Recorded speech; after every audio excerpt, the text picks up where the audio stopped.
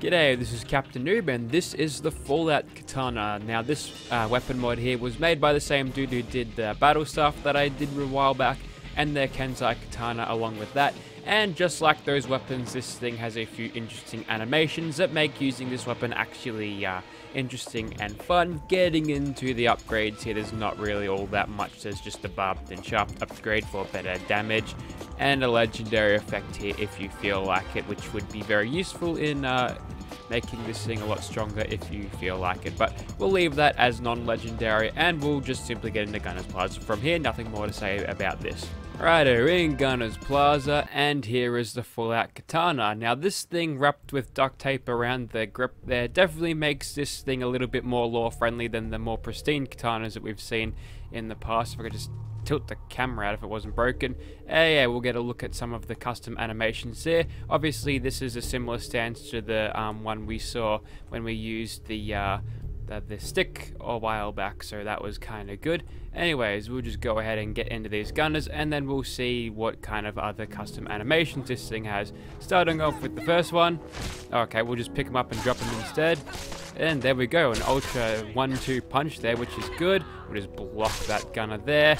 And with a kick to the face and some more slashes, there we go. We've got this. So yeah, the forward attack, um, one of them is uh, just a kick in the air, which is kind of good. And um, it, you immediately follow it up with just a twirl in the air to uh, immediately close distance even more, which is good. So yeah, this is a very highly aggressive type weapon, and we'll just knock her on her ass again. And down you go, mate. We've probably hit her a little bit too much. But we'll take out these turrets in VATS because they are explosive and they're staggering as bad. As you can tell, we're getting two attacks per VATS uh, shot, which is good. And we'll charge into this one, do a little bit of a power attack there. And there's nothing too much to say about this power attack thing going on here. That looks relatively tame. So we'll just kick her in the face. And that'll be it for her. Now, if you go ahead and attack whilst going sideways, you can do a whole Darth Maul kick where you just sort of jump to the side and kick him instead. And um, instead of kicking them, it's probably a better idea to hit him with the blade, Matilda. So uh, yeah, you might want to do that. We'll just knock that dude on his ass and quickly finish him off like that. Now, once they're on the ground like that, it appears they just die a lot quicker. Maybe that's just a little bit of placebo, but yeah, that's an interesting little uh, thing that it's just sort of uh, prepared to be. Anyway, we'll just quickly get rid of that gunner. Yep, she's definitely dead. And there's no reason to use this thing in a stealthy way because it is hitting hard enough and we're getting enough of a run of our enemies to sort of uh, not warrant the use of that anyway. So we'll just go ahead and kick her in the knee. Quick one-two punch and another kick. And now you're dead. Righto. So how does this thing perform in VATS? Pretty good. As you can tell, you get a quite a bit of shots there. And obviously for that two for one hit in VATS, you'll do a whole lot of damage with this. And yeah, that would probably make it a lot, a lot better with uh, the Furious effect too, since you're actually shooting, oh, hitting pretty fast, sorry. Not shooting, I'm being shot at, but I'm not shooting myself. Alright, so yep, uh, one of these dudes had a minigun. I really hope that's not irradiated because that'll actually mess up my day pretty bad. And it was a mighty one. You know what? That's a pretty lame legendary for a minigun. Base damage on heavy weapons really doesn't do a lot because some of the base damage is not too great to begin with. We'll just go ahead and cut that gunner's throat in that, and then we'll get really mad because this guy shot us too much once we're going through the animation there which left us very vulnerable for a time, so I guess my anger there is sort of shared, even though I really don't care. This thing is obviously performing that well that I'm not really worried about being on such low health, so we'll just quickly finish that gunner off in first person, and you know what, we'll go ahead and kill the rest of them in first person. We haven't done a lot of first person fighting with this weapon, so as you can tell there with the running power attack with the all of the uh, damage benefits we're getting out of Destroyer of Arcadia and also Nerd Rage, we can one-shot these dudes. And with a, wow, okay, that was 4200 damage from that power attack there, just from standing there. Man, this thing does a lot of damage. Question is, does that make it overpowered? I don't know, I'll let you decide. In the meantime, we're going to take a stim pack and then we're going to do the regular old thing where we put the uh, weapon away and then turn the camera in and then explain what we're going to do next, which is going super mutant hunting. I believe this thing is quite up to the task of that, so let's get to it. Okay, time to test our Fallout Katana against some super mutants. Obviously these guys are going to be very tanky as they are warlords, but I'm pretty sure this thing, with some sneak attack criticals, will make short work of these guys, so we'll just get them all lined up, and we'll kill the both of them at the same time thanks to Big Leagues 4.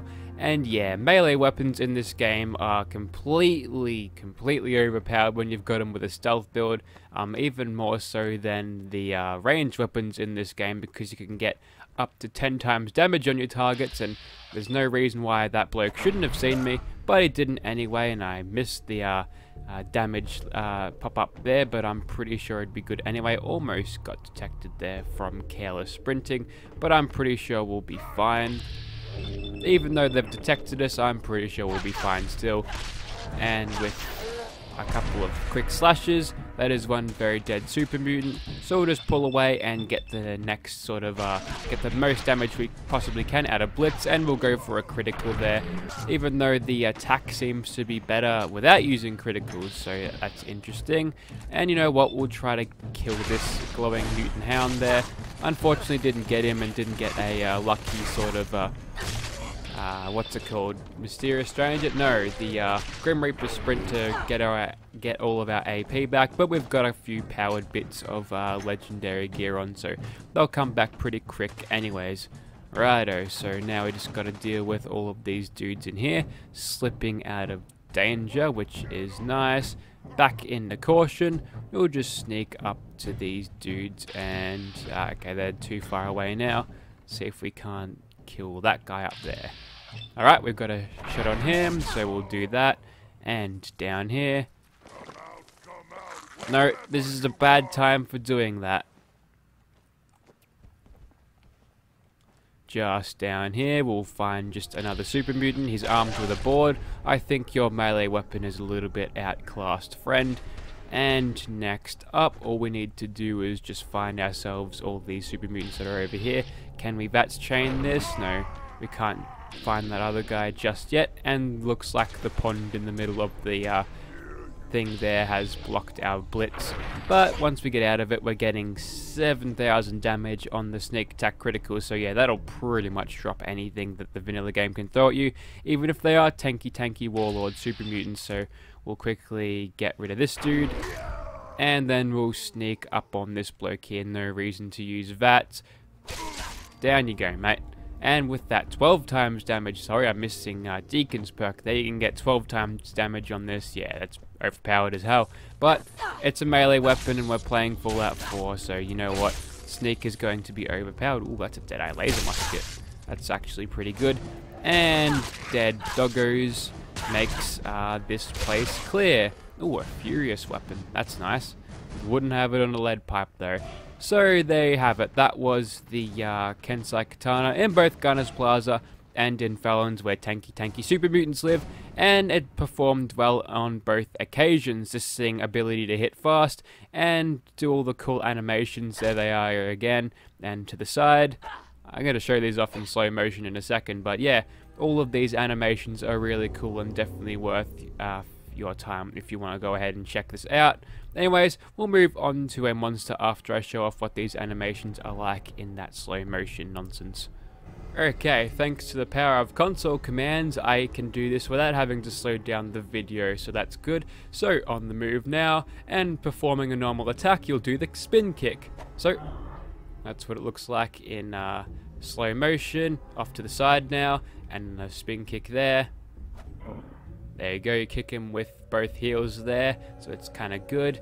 And around the other side is pretty much the same animation, but reversed. Very, very cool animations indeed, and definitely add in a lot of spice to your melee weapon uh, usage, because obviously the animations in the regular game aren't too good, but yeah, they're good now with these mods. Uh, yeah, I'm really enjoying using all of these Kensai katanas and battle sticks and all of that. Anyway, on to Swan. Okie dokie, so there's Swan over there. Let's go ahead and uh, jam a um, katana into him and see how much damage it does, I guess. So I guess the question on everyone's minds right now, and by that I mean no one, is whether this thing is immersive and lore friendly. And my answer is, who the hell cares?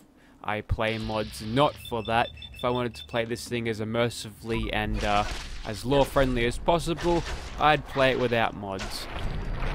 Now in terms of balance, as you can tell right there, if you wanted this to be a more balanced experience, you should probably just um, yeah, get into the creation kit and reduce the damage a little bit so you don't destroy creatures like that in a matter of seconds. But that's how just how Fallout 4 rolls with uh, overpowered sneak all the way. Anyways, we'll move on to one more monster and then we'll call it a day. Alrighty, so there's our old mate Wendigo Ghoul down there. We'll go ahead and take him out without the use of VATS, see how far we can get. But if it hits the fan, we might as well use VATS because obviously this thing as a melee weapon and better suited for that. So as he's spazzing out there, we'll get nice and close and execute regular attack. And the quick 1-2 punch with the 12 times damage there does a lot of damage to him.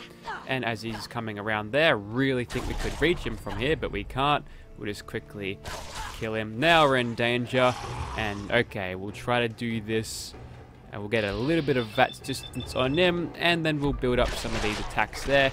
And with these quick hits, there we go. We are doing quite a lot of damage to him, which is good. But we get immediately one-shotted, and this is why you want to use VATS for melee weapons. Okay, we'll try this again, nice and simple. We'll just come out of the first-person camera, bring the camera out a bit, and move up nice and close just around his legs make sure we actually are able to hit.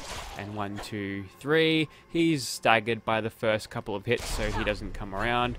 And we'll quickly just slip back into these bushes, which don't really exist, I guess, but uh, we've managed to avoid detection thus far. It is raining, so his perception is a little bit lower than usual, and with more sneak attack criticals, we've almost got him. One more will do him in. There we go. And goodbye, Mr. Ghoul. You're a great annoyance to play against, and um, we actually have the option to eat his corpse there, and I've opened up the level up menu there, so we even get some victory music along this too. So, if you'd like to see this weapon in your game, be sure to check out the description below, there shall be a link. I believe this one is only on PC, but I could be wrong, so if it is on Xbox One, the link shall be down there too, but I've only seen this mod on uh, PC, unfortunately.